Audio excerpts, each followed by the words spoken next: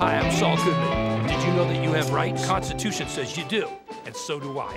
I believe that until proven guilty, every man, woman, and child in this country is innocent. And that's why I fight for you, Albuquerque. Better call Saul. Here's my ride.